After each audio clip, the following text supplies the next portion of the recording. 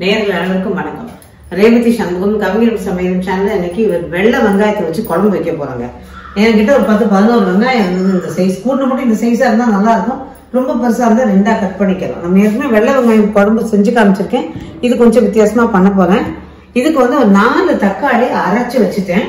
புளி வந்து ஒரு சின்ன எலுமிச்சம்பழம் அளவு புளி எடுத்து அதையும் ஊற வச்சு ரெண்டு மணி தண்ணியில் கரைச்சி வச்சிருக்கேன்.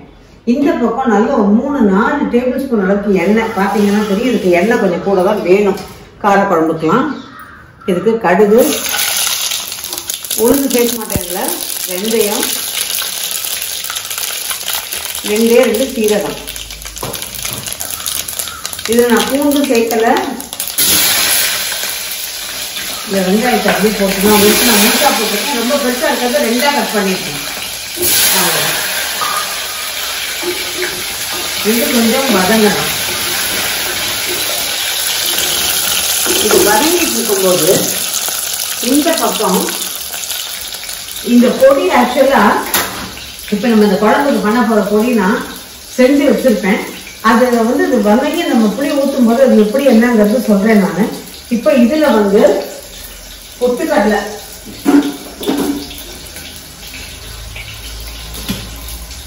இத கொஞ்சமா இப்ப இந்த அளவு குழம்புக்கு நான் ஒரு ஒரு டேபிள் ஸ்பூன் அதில் தான் எடுத்திருக்கேன். ஒரு ஒன்றரை டேபிள் ஸ்பூன் கூட வச்சுக்கலாம் அவ்வளவுதான் இருக்கும்.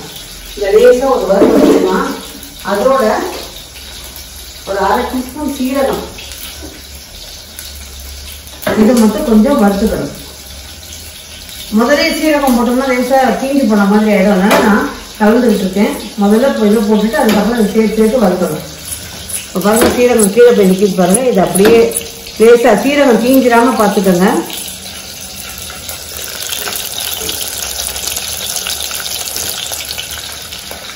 அவ்வளோதான் லேசா ஒரு வறு வறுத்தா போதும். ஏன்னா பொட்டுக்கடலை வறுக்கணும்னு அவசியம் கிடையாது. அவ்வளோதான் இதை நல்லா பொடி பண்ணி வச்சிடணும்.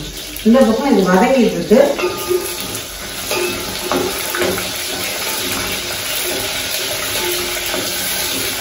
இது வதங்கிட்டு இருக்கும் போதே ஒரு விஷயம் நான் சொன்னேன் இந்த பொட்டுக்கடலை பற்றி சொல்றேன்னு சொல்லி புளி ஊற்றும்போது சொல்றேன்னா கொஞ்சம் முன்னாடியே சொல்லிடுறேன் இது வந்து ஆக்சுவலாக பருப்பு பொடி மாதிரி நான் என்ன பண்றது? காஞ்ச மிளகா பொட்டுக்கடலை அப்புறம் இந்த சீரகம் கொஞ்சம் உப்பு இதெல்லாம் நல்லா வறுத்துட்டு உப்பு சேர்த்து அதாவது உப்பு சேர்த்துனா கொஞ்சம் பெருங்காயத்தையும் சேர்த்து பொடி பண்ணி வச்சுக்கிறது. தேவையான போது பருப்பு பொடியாகவும் உபயோகப்படுத்திக்கணும் அதே சமயம் இந்த குழம்பெல்லாம் திக்கனிங் ஏஜென்ட்டாக இதை யூஸ் பண்ணிக்கிறேன் அதாவது குழம்பு கெட்டியாகும் போது நம்ம என்ன பண்ணுவோம்? அது கெட்டி ஆகிறதுக்கு கொஞ்சம் முந்திரி பருப்போ தேங்காவோ அந்த மாதிரி அரைச்சி ஊற்றணும் இல்லையா அதுக்கு பதில் அந்த பொடியை போட்டு அந்த குழம்பு வச்சு பாருங்க. எக்ஸலன்ட் டேஸ்ட் வரும் இதோட விருப்பப்பட்டா நீங்க கொஞ்சமா முழுமையை மறுத்து சேர்த்துக்கலாம். அதுவும் நல்லா இருக்கும். ஒரு அரை கப்பு பொட்டுக்கடலை எடுத்துட்டீங்கன்னா ஒரு டேபிள் ஸ்பூன் சீரகம் சாரி ஒரு டீஸ்பூன் சீரகம் காஞ்ச மிளகா ஒரு ஏழு எட்டு காஞ்ச மிளகா அதோட ஒரே ஒரு டேபிள் ஸ்பூன் உளுந்து பிரியப்பட்டா இதையும் சேர்த்து வறுத்து பொடி பண்ணி வச்சுட்டா பருப்பு பொடியாகவும் யூஸ் பண்ணிக்கலாம். சிக்கன் ஏஜென்ட்டாகவும் யூஸ் பண்ணிக்கலாம். தேங்காவும் முந்திரியும் தேடி போகணும் அவசியம் கிடையாது. இப்போ இது வதக்கினோம்னா நம்ம தக்காளி மிளகாய் ஆஹ், புளி எல்லாம் பார்க்கணும். இப்போ இது பார்த்தீங்கன்னா தெரியும் நல்லா வதங்கிட்டு பட் உள்ளேயும் வதங்கி இருக்கும். ஆனால் மேலே மட்டும்தான் நிறம் மாறி இருக்கும். உள்ள நிறம் மாற வரைக்கும் நம்ம வெயிட் பண்ணோம்னா நல்லா இருக்காது. ஆனால் நல்லா வதங்கிடணும். வதக்கிடணும். அவ்வளோதான் இப்போ இந்த தக்காளியை ஊற்றிடணும் இதுக்கப்புறம் லாஸ்ட்டில் வறுத்து வச்சுக்கலாம் இதில் தனியாத்தூள் நல்லா ரெண்டு டீஸ்பூன் நரக்கா அளந்த தனியாத்தூள்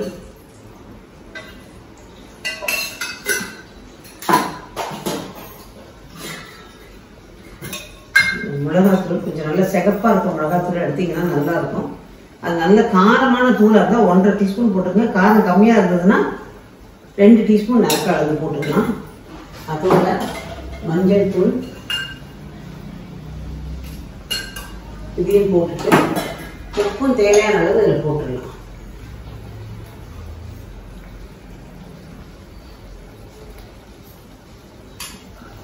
இப்போ இதுல வந்து கலந்து விட்டுட்டு நல்லா இந்த புளி தண்ணியை ஊற்றி சேர்த்து நல்லா கொதிக்க விட்டுடலாம்.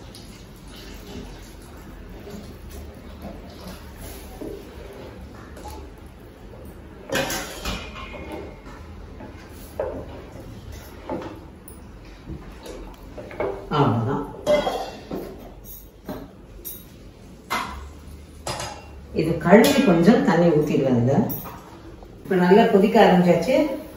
ரொம்ப அதிகப்படியான தீயில் வந்து தண்ணி வற்றும் இல்லையா? இந்த தீயை நல்லா குறைச்சி வச்சுட்டு நம்ம வந்து ஓரளவுக்கு ரொம்ப புளியை ஊற்றிட்டோம் ரொம்ப கொதிக்க விடக்கூடாதுங்க. ஒரு அஞ்சுலேருந்து ஏழு நிமிஷம் வச்சுக்கோங்க. அந்த கணக்கு வச்சுக்கிட்டிங்கன்னா போதும். நம்ம வைக்கிற குவான்டிட்டியை பொறுத்து. இதுக்கு வந்து நான் ஒரு அஞ்சு நிமிஷம் கொதிக்க விடனா தாராளமாக போதும். அதுக்கப்புறம் இந்த பொடியை பண்ணினா பொடியை ரெடி பண்ணிட்டேன். இப்போ பார்த்தீங்கன்னா தெரியும். இந்த இது வந்து பருப்பு பொடியாகவும் யூஸ் பண்ணலாம். திக்கனிங் ஏஜென்ட்டாகவும் யூஸ் பண்ணலாம். குழம்புக்கு ருசி மாத்தாம அந்த குழம்பு திக்காகும் இப்போ இது கொதிச்ச உடனே நான் போட்டுக்கலாம் இப்போ இது ரொம்ப தீயை குறைச்சி வச்சுருந்தோம் நல்லா கொதிச்சுட்டு இருக்கு பாருங்க. இப்போ இந்த பொடியை நல்லா கொதிச்சாச்சு அஞ்சு நிமிஷம். இப்போ இந்த பொடியை போட்டுக்கலாம்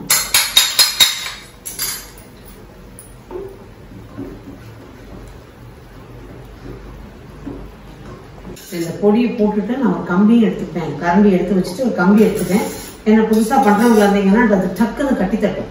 அதுல கொஞ்சம் தண்ணி ஊற்றி ஊற்றுங்க பட் அதுக்கும் திருப்பி தண்ணி ஊற்றுனீங்கன்னா நம்ம இந்த மாதிரி ரிஸ்க் எடுத்து அடிச்சீங்கன்னா கரெக்டா போயிடும். பாருங்க குழம்பு திக்கா இருக்கு. பாத்தீங்கன்னா தெரியும்.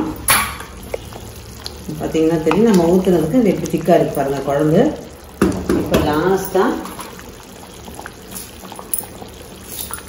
கருவேப்பிலை வீட்டில் பறிச்ச கருவேப்பிலை அவ்வளோதான் இப்போ தீயை அதிகமாக வச்சு ஜஸ்ட்டு ஒரு பத்து இருபது செகண்ட் கொதிக்க விட்டுட்டு எடுத்தோம்னா நல்ல ஒரு வெள்ளை வெங்காயம் குழம்பு. இந்த குழம்புக்கு ஒரு கூட்டு வச்சுக்கிட்டு ஒரு அப்பளத்தை பிடிச்சா போதும். அல்லது ஒரு முட்டைக்கோஸ் கேரட் இந்த மாதிரி ஏதாவது ஒரு பொரியலை பண்ணிட்டு ஒரு கீரையை கடைஞ்சி வச்சுக்கிட்டீங்கன்னா போதும். எதுவும் வேணாங்க. எங்களுக்கு பண்ணுறதுலாம் டைம் இல்லை. இதுவே போதும்னா முந்தின நாளே பண்ணி வச்சு மறுநாள் சாப்பிடுங்க. சூப்பராக இருக்கும். அதுக்கு ஒரு பருப்பு தொகையிலும் அதோட கூட ஒரு அப்பளமும் வறுத்தீங்கன்னா போதும். நான் குழம்பு ஆஃப் பண்ணிட்டேன். ஆக்சுவலாக செஞ்சுட்டு ஒரு பாத்திரத்தை மாற்றி மண் சட்டியில் பண்ணீங்கன்னா அப்படியே வச்சுக்கலாம். நைட் ஒரு தடவை சூடு பண்ணி வச்சிடணும். இல்லைன்னா வேற பாத்திரத்தில் இப்போ பித்தளை பாத்திரங்கிறதுனால நான் அப்படியே அதை வைக்க மாட்டேன். இன்னொரு பாத்திரத்தில் மாற்றிடணும் மாற்றிட்டு அப்படியே விட்டுட்டு நைட் ஒரு தடவை நல்லா சூடு பண்ணி எடுத்து வச்சிருவோம். அல்லது ஃப்ரிட்ஜில் வச்சு காலையில் ஒரு தடவை சூடு பண்ணிப்போம். இதுக்கு வந்து நான் சொன்ன மாதிரி அந்த காம்பினேஷனில் சாப்பிட்டு பாருங்க. இந்த திக்கனிங் ஏஜென்ட் தான் இதுல முக்கியமானது. ருசியை மாத்தாம இந்த பருப்பு பொடி. சரி இந்த பருப்பு பொடி தான் சரியா வருமான்னு கேட்டீங்கன்னா நம்ம வீட்டுல எந்த பருப்பு பொடி வச்சிருந்தீங்கனாலும் குழம்பு தண்ணியா ஆயிடுச்சு அப்படின்னா அந்த பருப்பு பொடியில கொஞ்சம் அள்ளி போட்டு நல்லா கொதிக்க விட்டு இறக்குனீங்கன்னா திக்காவும் ஆகும் ருசியாகவும் இருக்கும். ட்ரை பண்ணி பாருங்க. நிச்சயமா இந்த வெள்ளை வெங்காயம் குழம்பு அதோட இந்த பருப்பு பொடி போட்டு திக் பண்ணது இது எல்லாமே நிச்சயமா நேரம் நமக்கு பிடிக்கும். எனக்கு தெரிஞ்சு நான் சமையல் பண்ற விஷயங்கள்ல உங்களோட பகிர்ந்துக்கிறதுல எனக்கு ஒரு நிறைவு. செஞ்சு பார்த்து உங்களோட வேல்யூபிள் கமெண்ட்ஸை கொடுங்க. மீண்டும் சந்திப்போம். நன்றி. வணக்கம்.